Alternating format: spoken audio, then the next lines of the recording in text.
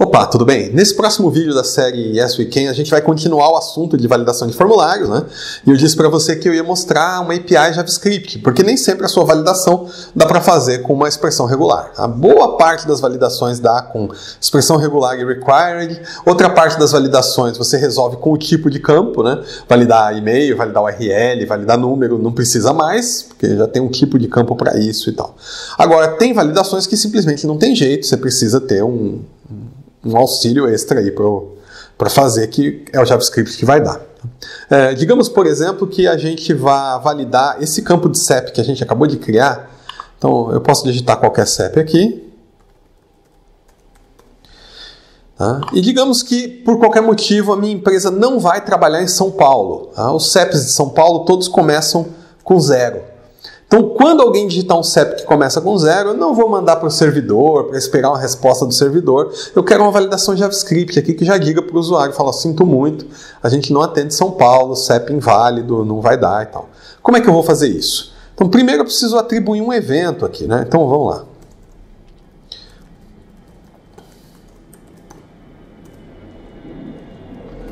window.add event listener load uma função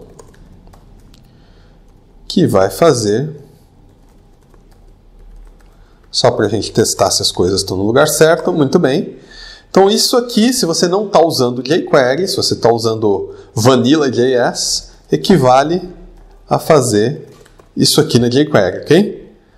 Quando carregar o documento, ele vai executar o que está aqui dentro. E o que é que eu quero executar? Quero fazer document.querySelector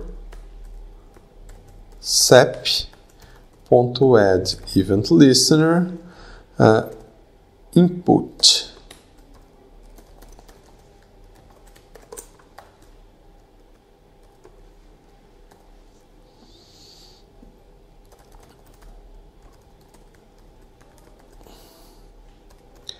Então, olha só, eu fiz uma query no documento, passando um, um seletor de CSS, né?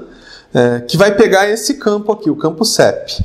E aí usei add event listener para anexar ao evento input uma função que vai dar um console log ali só para a gente testar. Vamos ver se deu certo, ok?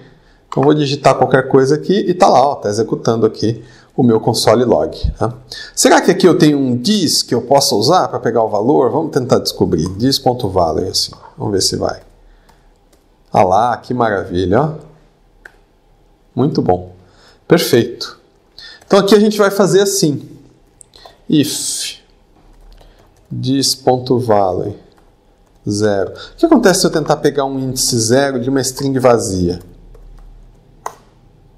Dá undefined. Beleza, então não vai dar erro.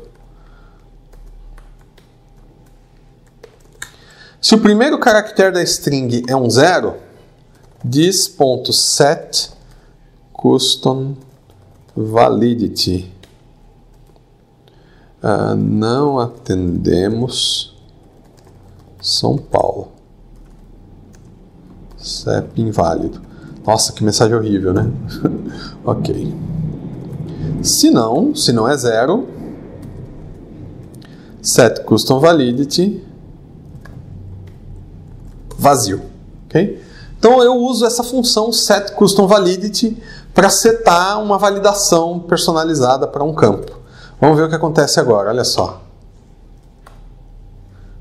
Vou colocar aqui um campo, um valor no campo que começa com zero, vou tentar enviar, tá lá. Não atendemos São Paulo, CEP inválido. Vou colocar um outro valor aqui e foi, submeteu, ok? Então não pode começar com zero, e tá aí, aqui nem, nem bateu no pattern porque ele caiu na minha validação primeiro. Não atendemos São Paulo, CEP inválido e já parou ali, perfeito, funcionando. Ah, muito fácil de fazer. Ah, a API do JavaScript é eu acho que se eu fosse desenhar API ia fazer a mesma coisa. Né? Talvez ia fazer até mais complicado. É muito simples, é muito bem projetada. Tá aí a, APIzinha para você fazer a validação que você precisar. Legal? Um detalhe interessante, talvez você deve ter notado aqui, é o evento input. Então eu dei event listener no input. Também é um evento novo, surgiu com essa onda de novidades do HTML5.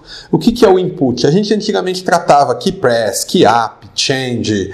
É, só que esses eventos eles são complicados porque o change só acontecia quando o cara tirava o foco do campo. Key press ou key app, o cara de repente podia fazer coisa com o, o mouse clica com o botão direito e manda colar. Então você tinha que tratar um monte de eventos e tal. O input não. O input é mexeu no campo, vai disparar o evento input. Então, se eu vier aqui, por exemplo,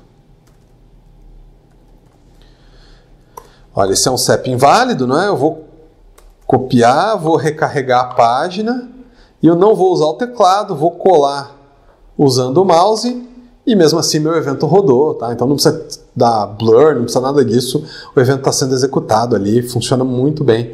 On input é uma das novidades boas do HTML5, beleza? Então é isso aí, acompanha os vídeos aí, tem bastante novidade pela frente. A gente vai fazer mais uma série falando de HTML e dando só uma pinceladinha em JavaScript, mas depois a gente vai fazer uma série falando de novidades do JavaScript também. Tem muito recurso legal, coisa que vale a pena você acompanhar, você assistir, você vai gostar, beleza? Valeu!